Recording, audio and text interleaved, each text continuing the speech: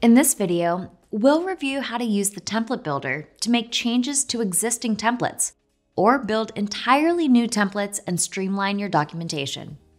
To start, in the Settings menu, select Documentation and then Template Library. To learn more about the template library, watch the video linked in the corner. Simple Practice offers templates for several types of documentation. For example, you can create templates for intake forms and questionnaires, or other situations where you'd like to collect responses from a client. And to simplify your documentation after a session, you can create templates for progress notes, treatment plans, and other documents. To edit one of these templates, click the name to open it in the template builder.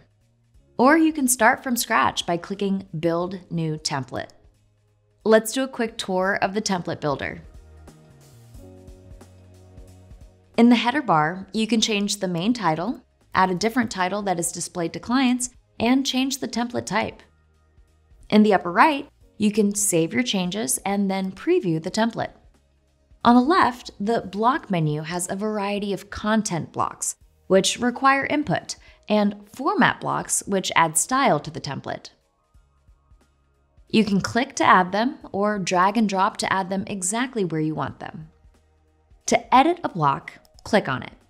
Each type of content block gives you different ways to present a prompt or question and provide options or suggested responses that the person completing the form can use. Let's add some as an example. As you add more, these option fields can be reorganized. If you decide to present these in a different way, click the drop down to change the content block type. Or click the trash can to delete this block. After creating a block, you can also duplicate it if you want to offer several question prompts with these same response fields. To require the question or prompt to be completed, click the toggle on. After editing a block, click outside of it to view it.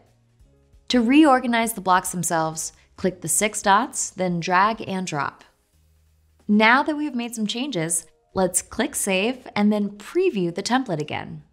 If you have any questions, please reach out to our customer success team or attend one of our daily live Q&A sessions. Click the link at the end of this video to view the schedule.